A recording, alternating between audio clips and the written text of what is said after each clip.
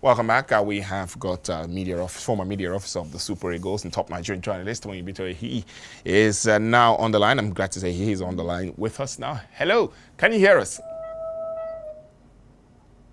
Yeah, Tolu. Good afternoon. All right, so let's get into it very, very quickly. It was um, if you could call it a very weird weekend for Nigerian football. First up, uh, the news filtered in that uh, the uh, former Super Eagles winger and uh, now former Super Eagles coach, Finidi George, had uh, quit his position. There was a lot of um, uncertainty as to the reasons why he actually quit the job. A couple of people said it was uh, down to him falling out with the NFF. some even said that he was actually sacked. Um, what exactly is the situation? He resigned, and why did he do that exactly? Uh, well, um, we've seen um, the letter, Finidi's resignation letter, we've seen it uh, on social media, um, and he has confirmed that that letter came from him. Um, he, he, resigned uh, because uh, of the changes made to the technical crew. Um, and of course, we, we, we, gather from very reliable sources that um, he didn't see it coming because he had meetings with the NFF executive committee. After that, he had meeting with uh, the sports ministry. The sports minister was in attendance and some directors in the ministry. And all the discussions were around revamp our World Cup aspirations uh, and uh, ensure that um, we salvage what is left of the campaign. We still have six games to go.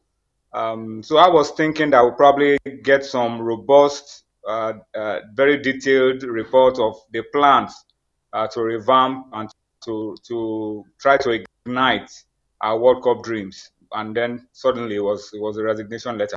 So I think um, he just felt, I mean, it's a sign of uh, loss, loss, of confidence in his abilities for you to be talking about tinkering with the technical crew after just two games. Um, but the fact is that he's, he's, he's resigned, he's confirmed it, and so we're back to where we were after the AFCON when uh, the coach's contract was not renewed. So we have we have to start to shop for a new coach, whether foreign or local, and uh, do whatever we can as quickly as possible.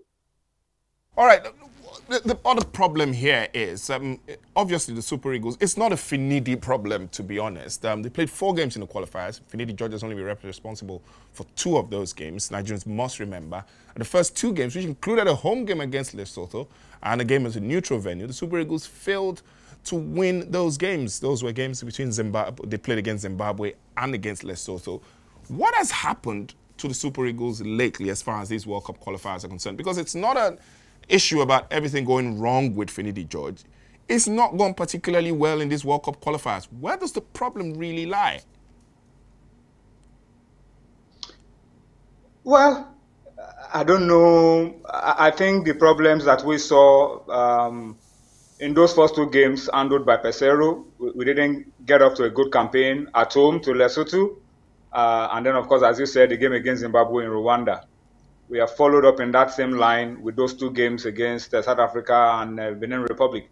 Um, I, I, think the, the, the, four games we've played so far, we clearly didn't have a leader in the team. Um, and it looked like the team isn't motivated to play. And I'm asking myself, what motivation do you need to play in a World Cup qualifying game if the World Cup is not enough motivation for you? So that's a worry for me.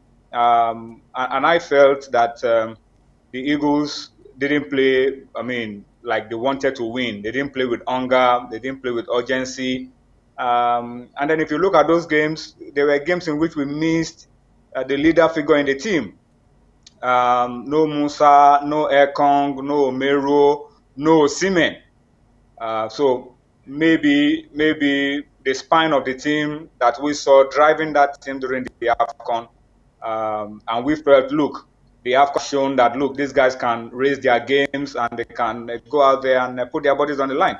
But it looks like um, we still have more work to do. If, if uh, we want to see the Eagles play with urgency, play with excitement, play with uh, a lot of passion, uh, with urgency. It looks like we still have a lot of work to do. If we want to see those kind of Eagles uh, on display. Mm. All right, so I, I, cannot have you on this show and not ask about the outburst uh, from uh, the Super Eagles striker Victor Osimhen uh, regarding the NFF and to statements that haven't really been substantiated that Finidi George uh, made about him. He went on a tweet, uh, on an Instagram rant over the weekend. You have had close um, dealings with Super Eagles players, including Victor Osimhen.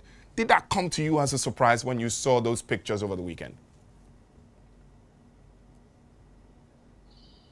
You're talking about Victor Osimhen? Yeah. Yes.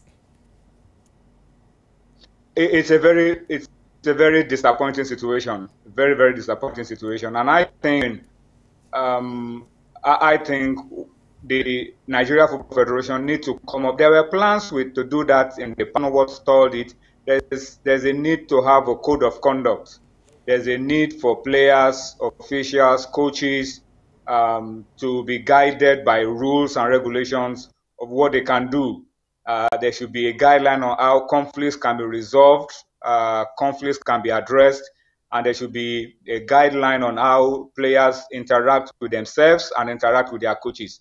Uh, what we saw, the outburst we saw, is, is unpalatable, is distasteful, is is is, is uh, capable of breaking team spirit. It's not in good taste, uh, and I think the federation needs to do something very urgently about it. All right. Thank you very, very much for talking to us. I wish you had more time, or probably we'll talk on subsequent uh, bulletins here on AfroSport. Thank you very much. Thank you. Thank you for the opportunity.